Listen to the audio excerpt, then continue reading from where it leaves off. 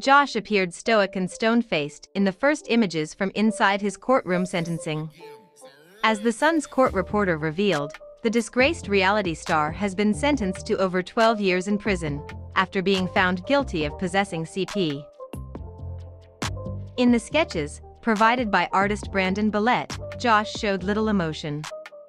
The Counting On star was wearing a tan jacket and full dark mask, which he later removed, exposing his still present beard and mustache.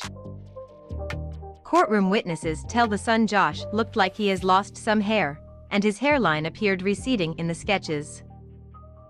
Josh, 34, was found guilty of possessing and receiving CP on December 9 after a nearly two-week trial. The oldest Duggar Sons team requested that he spends just five years in prison, while the prosecution asked that he receive the maximum sentence of 20 years behind bars.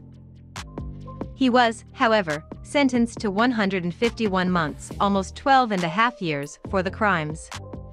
Jury selection for the trial began on Tuesday, November 30, 2021, with Josh officially being charged with receiving and possessing CP.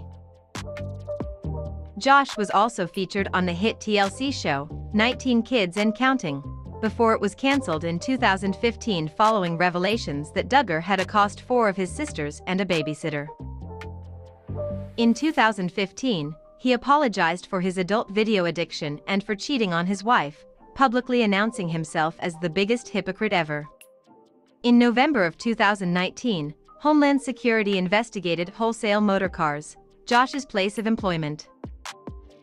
At the time, downloads allegedly made on a computer were flagged by the Little Rock Police Department and traced to his address. Prosecutors have said CP was downloaded to a computer at Josh's workplace in May of 2019. Homeland Security Investigations Special Agent Gerald Faulkner described the files he found in the top five of the worst of the worst that I've ever had to examine. According to the Sun's court reporter, Josh appeared stoic as he received his sentence, which also includes $50,000 in fines. As he read his decision, the judge called Josh's crimes the sickest of the sick to the packed courtroom. After Josh is released, he will serve 20 more years of probation and will be forbidden from unsupervised visits with children. He will not be allowed to have a computer or view adult video of any kind.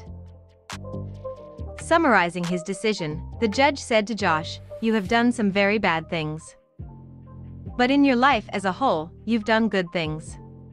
The true test of a man's character is what a man does when no one is watching.